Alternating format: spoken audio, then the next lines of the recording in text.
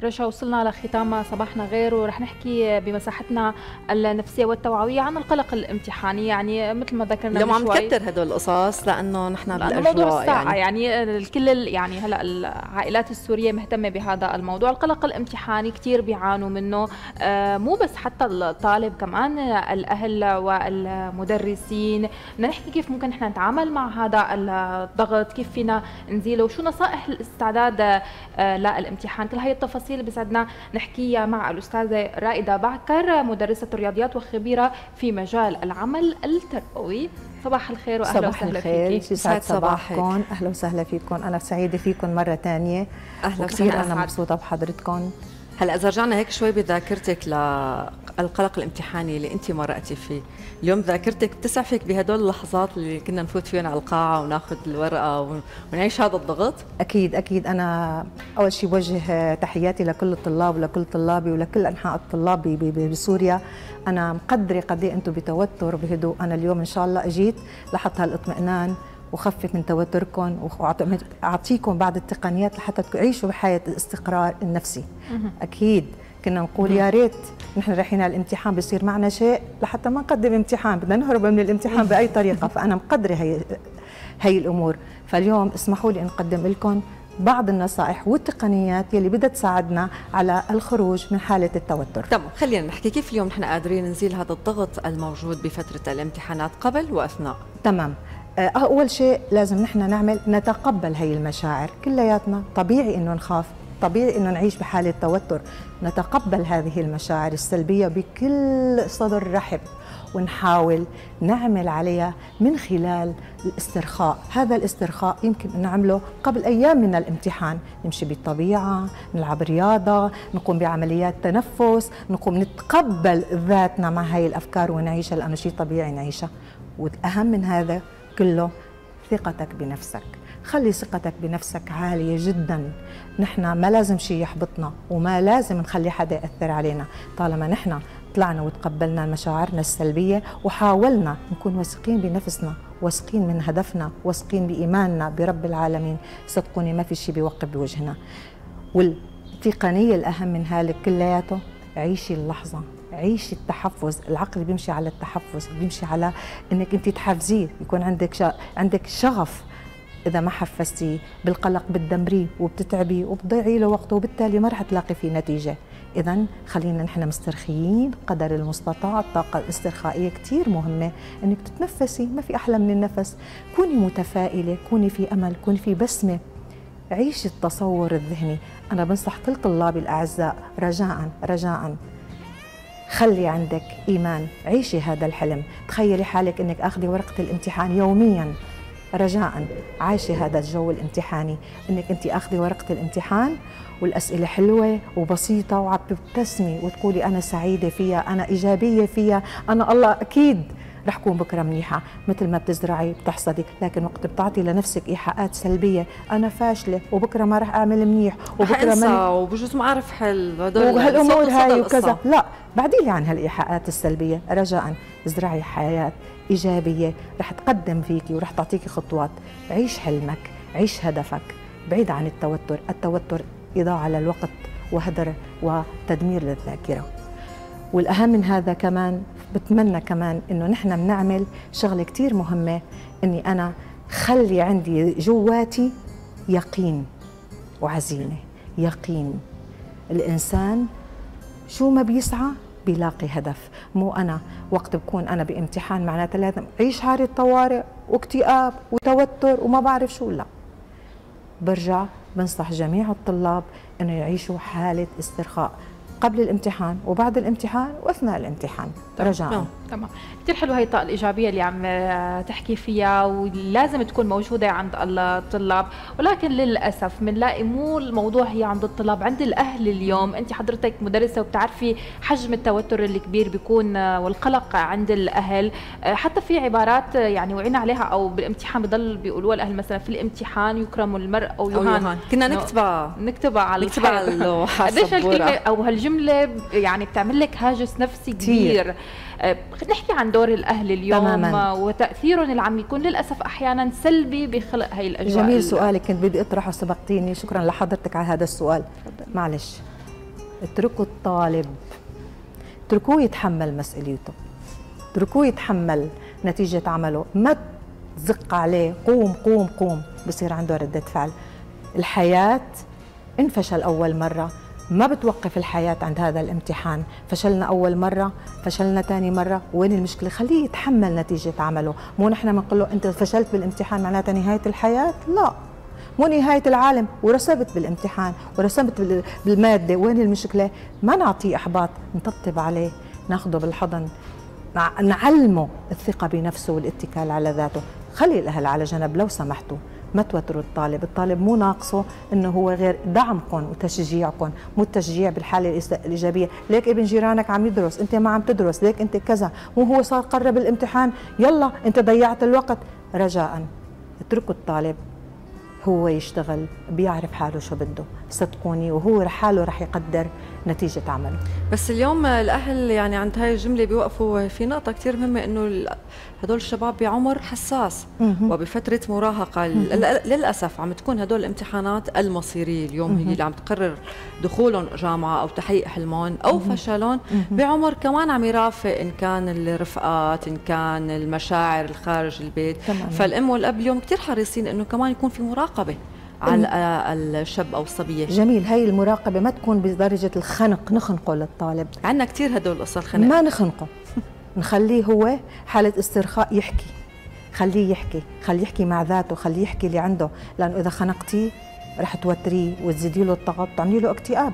صحيح. وتفشليه. تمام. خلينا كمان نحكي عن موضوع كتير مهم هو ما بعد الامتحان مو بعد كتير بعد تقديم أول مادة. اليوم كيف ممكن أو شو شو الطريقة الصحيحة اللي لازم يتعامل فيها الطالب بعد الخروج من الامتحان؟ آه، أول شيء آه، رح أقول لك شغلة إنه الامتحان كليته. عندي قبل الامتحان بكم يوم عندي قبل الامتحان بساعات عندي بقاعة الامتحان شو بدي أعمل عندي ما بعد الامتحان. فالامتحان لازم نهيئ له قبل الامتحان بسبعة أيام مثلا لقل لك شغلة. كثير طلاب بيعملوا ليل ونهار ونهار وليل بضلوا يدرسوا كل الليل وبيناموا بالنهار. نحن لازم نكسر هي القاعدة. أول شيء لازم نعمله قبل قدوم الامتحان بسبعة أيام هي القاعدة نشيلها من حياتنا. لازم نعمل سيستم جديد إني أنا فيق بكير ونام بكير. فرجاء يا طلابي الأعزاء يلي عم بيسهر كل الليل وبده يروح على الامتحان مو معقول يروح على الامتحان وهو مغمض عيونه وعم بفرفك بعيونه كيف بدها تجي المعلومة؟ كيف المخ بده يفهرس هذه المعلومات؟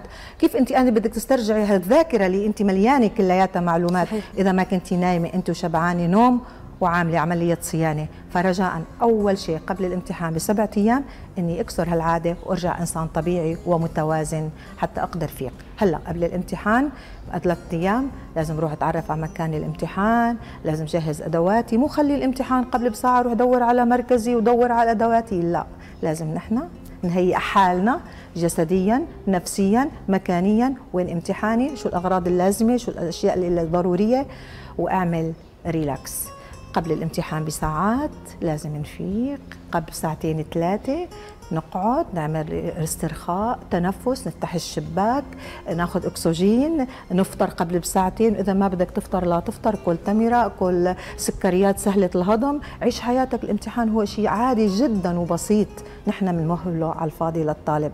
قبل الامتحان وانطلق على الامتحان وانت بسمتك هيك ومتفائل وأمل وثقتك بنفسك وطاقتك كثير عالية من رب العالمين. هلا بنرجع لقاعة الامتحان. أول ما فوت على الامتحان لازم فوت وأنا بقمة الرواق والهدوء. مو بلش فوت بتهاضم على رفيقي من هون بتهاضم على المراقب من هون. رجاء نحن مدرسين بنعرف الطالب.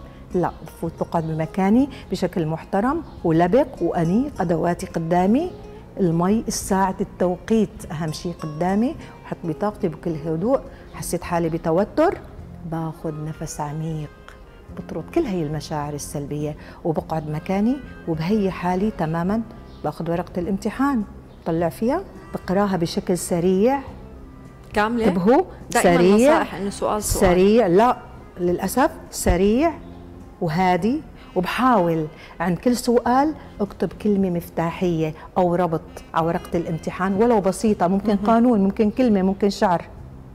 وأرجع بلش حل بالأسهل لأنه عقلك اللاواعي ببلش يبلش على الحل الأصعب ويبلش يقول لك أنا جاهز. اذا استرخاء هادي ورقتي بلش بالأسئلة الصعبة السهلة ثم الصعبة وبرجع بأكد على شغلة كثير مهمة. لا تطلع قبل الوقت.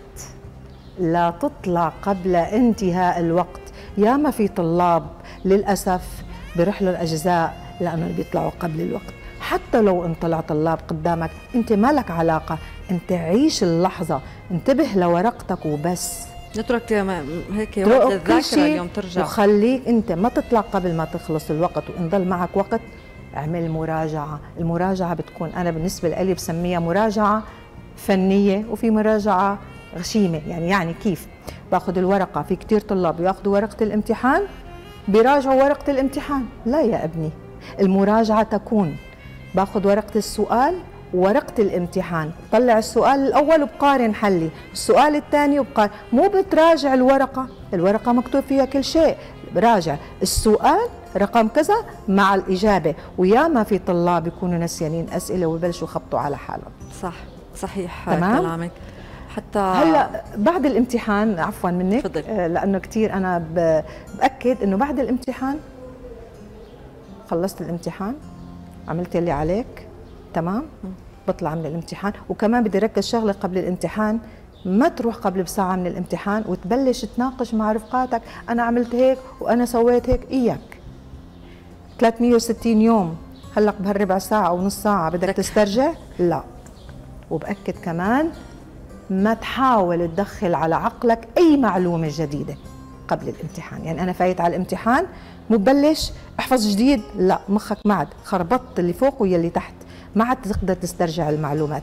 خليك قبل الامتحان relax هادي أي معلومة ما بدنا ندخلها.